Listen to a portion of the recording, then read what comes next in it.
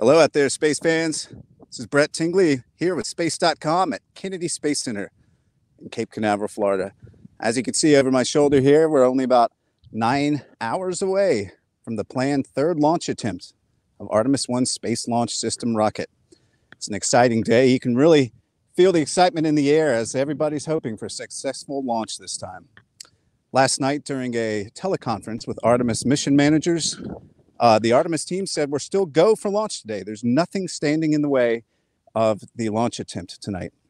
One of the chief concerns with this launch has been the damage done by Hurricane Nicole, which was quickly downgraded to Tropical Storm Nicole, as it stripped off a piece of insulating caulking that was on the outside of the Orion spacecraft. And there was some worry that it would cause unwanted airflow that could cause excessive heating around the spacecraft. However, in last night's teleconference, uh, mission managers assured us that all of their models, all of their analyses say we are still go for launch. Uh, as you can see, there's a little bit of cloud cover moving in. The last we heard yesterday was that we had a 90% chance of favorable weather at launch time. So let's hope, hope these clouds uh, blow out in time. As uh, you remember, Artemis 1 is the first planned launch of NASA's Artemis program, which will return humans to the moon, with the eventual goal of establishing a permanent presence on the moon. Artemis 1 will launch the Orion spacecraft into a rather unique orbit around the moon, um, and then it will come back about 26 days later and splash down in the Pacific Ocean. The mission is designed as kind of a proof of concept of the uh, vehicle and the orbit that will be used in later Artemis missions.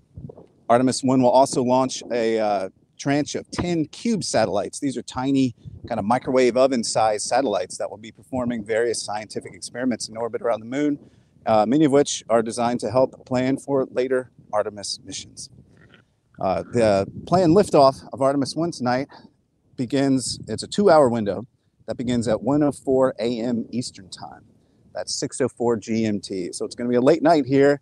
Everybody's gearing up and uh, everybody's excited. So as long as the mission management teams find nothing uh, else today that's going to stand in their way, hopefully we will see a launch tonight. It, it, should be pretty spectacular here at night, and uh, we're all very excited. Let's see if we have any questions. If anybody's out there wants to know anything about the Artemis launch, we can answer it. We are also going to be live several more times throughout today. Uh, fueling of Artemis 1 begins around 3.30 today. So we should be live about 4 p.m. during fueling. Hopefully everything will be great. And don't forget, starting at 3.30, you can watch live here on space.com courtesy of NASA. I think we have a question we can answer. Hi, Brett. Yes, we do have some questions getting ready.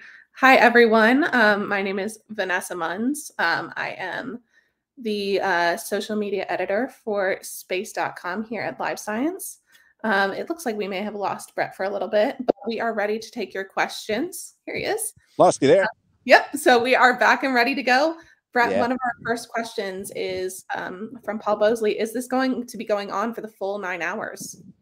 Uh, we will not be streaming live. However, you starting at about three o'clock um, on NASA TV, you can watch the whole day live, starting with the fueling process. Um, so be, we'll be streaming it. We'll be hosting it right on our homepage, space.com. You can also watch it at nasa.gov. And uh, I believe there are a few live streams that are going all day um, elsewhere on the internet. But as far as our coverage, we will begin streaming live at about 3.30. Uh, I'll be tuning back in at about 4 p.m. to give an update with the fueling process. Thanks, Paul. Thank you, Paul. Our next one is from Eric Stifler. What will be different about this rocket when there's humans on board? Um, well, the rocket, so this is the SLS Block 1 that's launching now. The SLS Block 1B uh, will follow so there are some incremental changes to the Space Launch System rocket um, that will occur, that will that are planned for when humans will be on board. Um, not much will change. I can tell you in the Orion capsule that's on the rocket right now behind me, um, there are a few human-sized test masses on board, if you will. There are two mannequins um, that are designed to test kind of the radiation environment and the ability of the Orion spacecraft to shield them from that radiation. And uh, there's actually a very interesting zero gravity indicator that we'll see floating around in the cabin once Orion hits zero gravity. So Uh, not much will change, Eric, because this mission is actually designed to test the exact technologies, the exact spacecraft that will be on later Artemis crewed missions. Awesome. Um, Thanks, Eric. A few more questions from sure. um, another one from a different Eric. How many more unmanned Artemis missions are planned? Artemis 1 is the only uncrewed Artemis mission uh, planned so far. Artemis 2 which is currently scheduled to launch in 2023 if all goes to plan, uh, will be a crewed mission. It's not actually going to put that crew on the moon. They're just going to go up in orbit and come back down um, just to test the Orion spacecraft again. If you remember with the Apollo missions, there were, what, 10 uh, missions before we even put people on the moon. So there's a lot of testing that has to go involved with these spacecraft before um, we can put crews on them.